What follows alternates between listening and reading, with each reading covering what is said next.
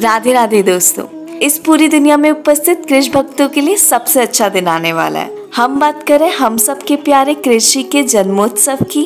कृषि के जन्मोत्सव के अवसर पर कुछ भक्त अपने घरों में रहकर कृषि का जन्मोत्सव सेलिब्रेट करते हैं। तो वहीं कुछ भक्त कृषि के जन्म स्थली और रासलीला स्थली मथुरा वृंदावन जाकर कृषि का जन्मोत्सव सेलिब्रेट करते हैं। इस साल कृष्ण जन्माष्टमी सात सितंबर को पड़ रही है और इस मौके पर अगर आप भी मथुरा वृंदावन जाकर कृषि के दर्शन प्राप्त करने का प्लान बना रहे हैं तो यह वीडियो आपके लिए इस वीडियो में हम आपको बताएँगे कि आप वृंदावन कैसे जाएँ, कहाँ रुके और कौन कौन से मंदिर में जाएँ। हमारे प्यारे कृषि के जन्मदिन में शामिल होने के लिए तो बिना किसी देरी के आइए स्टार्ट करते हैं।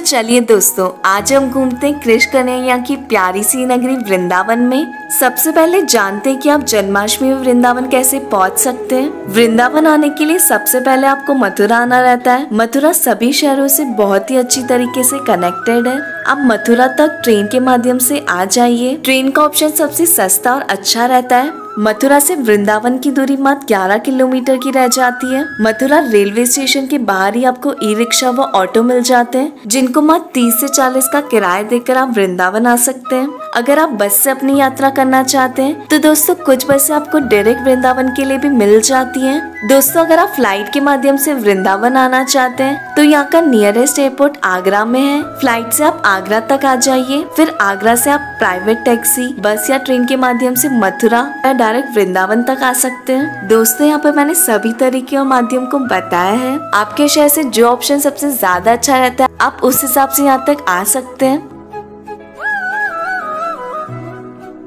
अब बात कर लेते कि जन्माष्टमी में आपके वृंदावन रुकने के लिए रूम का कितना खर्च आने वाला है। तो नॉर्मल डेज़ में जो रूम आपको 400-500 में मिल जाता है, उनका प्राइस त्योहार के टाइम ऑलमोस्ट जस्ट डबल हो जाता है, क्योंकि बहुत ज़्यादा रश होता है उस समय। तो मैं आपको तीन धर्मशाला बताने वाली हूँ उनके एड्रेस और कॉन्टैक्ट नंबर के साथ। सबसे पहली धर्मशाला है भारत सेवा सदन संघ। ये रेलवे स्टेशन से मात्र 140 मीटर की दूरी पर स्थित है। नॉर्मल डेज़ में यहाँ पर जो रूम 500 में मिलते हैं, वही रूम जन्माष्टमी में आपको हज़ार से 1200 के बीच मिल जाएगा। इनका एड्रेस और कॉन्टैक्ट नंबर मैं स्क्रीन पर मेंशन कर दूँगी।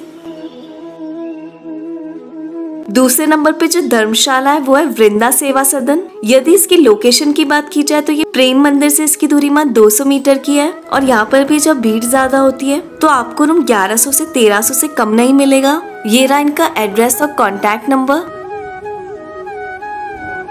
तीसरे नंबर पे जो धर्मशाला है, वो है टूरिस्ट फैसिलिटेशन सेंटर, जिसकी दूरी रेलवे स्टेशन से तीन किलोमीटर की है। यहाँ पर आप तेरह सौ में चार बेडरूम ले सकते हैं, लेकिन अगर आपको और भी सस्ते में रुकना है तो आप डोर मैट्री में भी दो सौ रूपए पर बेड का चार्ज देकर यहाँ रुक सकते हैं। इनका एड्रेस और कॉन्टेक्ट नंबर ये रहा स्क्रीन पे, बाकी मैं डिस्क्रिप्शन में भी मेंशन कर दूँगी।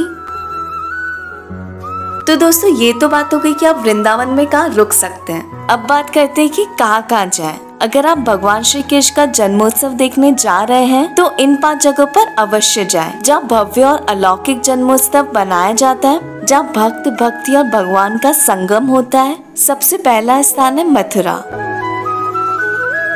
श्री कृष्ण जन्माष्टमी के पावन मौके पर भगवान कान्हा जी की मोहक छवि देखने के लिए दूर दूर से श्रद्धालु कान्हा जी के जन्म स्थान मथुरा पहुँचते हैं। भगवान श्री कृष्ण की जन्मभूमि मथुरा की जन्माष्टमी दिव्य होती है। मथुरा में जन्मोत्सव के पावन पर्व पर सभी मंदिरों को एक ही रंग से सजाया जाता है। कृष्ण जी के जन्म के समय इन मंदिरों में एक साथ पूजा की जाती है। पारंपरिक शंख, मंदिर की घंटियों और मंत्र भजनों की ध्वनि की कुंज पूरे हृदय को कृष्णमय बना देती है। अगर आप मथुरा में कृषि के जन्मोत्सव में शामिल होना चाहते हैं, तब आप कृष्ण जन्मभूमि ज़रूर जाएँ। लेकिन अगर भक्तों की अपार भीड़ की वजह से आप जन्मभूमि में दर्शन नहीं कर पाए, तब आप जन्मभूमि से ही दो किलोमीटर की दूरी पर स्थित द्वारिकाधीश जी के मंदिर में जन्मोत्सव में शामिल हो सकते हैं। मथुरा में श्री कृष्ण जन्म स्थान एवं द्वारिकाधीश मंदिर में रात बारह बजे अभिषेक प्रारंभ हो जाता है।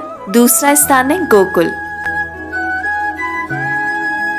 मथुरा में जन्म लेने के बाद भगवान श्री कृष्ण को गोकुल ले जाया गया था। यहाँ की जन्माष्टमी को गोकुलाष्टमी के नाम से जाना जाता है। देश के बाकी हिस्सों में जिस दिन जन्माष्टमी मनाई जाती है, उसके एक दिन बाद यहाँ गोकुलाष्टमी का त्योहार बड़े ही धूमधाम से मनाया जाता है। वृंदावन में भक्तों की भीड़ को देखते हुए आप गोकुल में गोकुलाष्टमी के उत्सव में शामिल हो सकते हैं। गोकुल में जन्माष्टमी का उत्सव सबसे अलग होता है और पूरा गोकुल कृष्णमय होकर लोकगीत गाता है। यहाँ पर आप राधा रमन मंदिर और राधा दामोदर मंदिर में दर्शन कर सकते हैं। तीसरा स्थान है वृंदावन।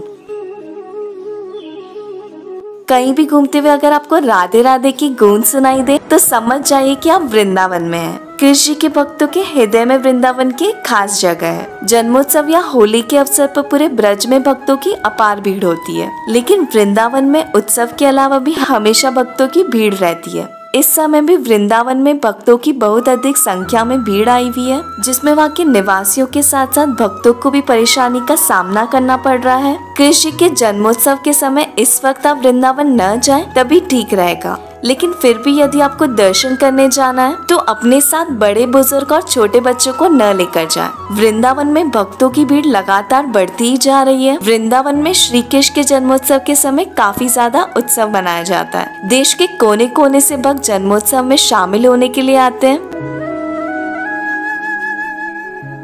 यदि आप भी वृंदावन में जन्मोत्सव में शामिल होने के लिए जा रहे हैं तो वृंदावन में बाके बिहारी जी, राधा वल्लभ जी, राधा मदन मोहन जी और इस्कॉन मंदिर में ज़रूर जाएँ। कहते हैं, वृंदावन आए और बिहारी जी के दर्शन नहीं किए तो क्या ही वृंदावन आए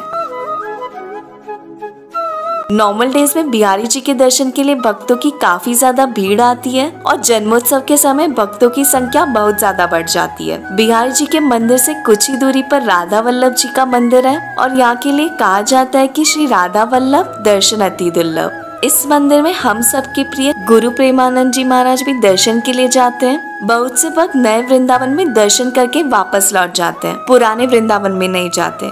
यदि आप जन्मोत्सव में जा रहे हैं तो श्री राधा मदन मोहन जी मंदिर ज़रूर जाएँ। यह वृंदावन का सबसे प्राचीन मंदिर है। जन्मोत्सव के समय और बाकी अलग समय कृष्ण की भक्ति में लीन होकर नृत्य करते लोग आपको इस्कॉन में मिलेंगे। यहाँ पर भक्तों की भक्ति सबसे अलग होती है। जन्मोत्सव के समय पूरे इस्कॉन में कृष्ण भक्ति की अलग ही अनुभूति होती है।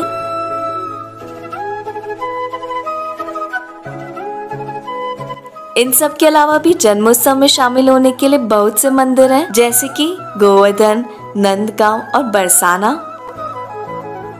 अब बात कर लेते हैं कि वृंदावन में खाने की क्या व्यवस्था है। कहाँ पर आपको सस्ते व अच्छे में खाना मिल जाएगा? तो वृंदावन में ऐसे कई ढाबे और सस्ते होटल व रेस्टोरेंट को प्रेम मंदिर और बाके बिहारी जी मंदिर के पास मिल जाएँगे, जहाँ पर आपको मत सौ से डेढ़ सौ में भरपेट थाली मिल जाएगी। लेकिन अगर आपका बजट और कम है तो वृंदावन में ऐसी कई जगह है जहाँ पर आपको फ्री में भोजन भी मिल जाता है। जैसे कि गौरी गोपाल आश्रम, अन्नपूर्णा रसोई या श्रीजी रसोई और अंत में सुदामा कुटी। इसके अलावा दोस्तों, पूरे वृंदावन में आपको हर जगह लस्सी ज़रूर देखने को मिलेगी। तो अगर आप वृंदावन जाते हैं तो वृंदावन की लस्सी का स्वाद आपको ज़रूर चखना चाहिए।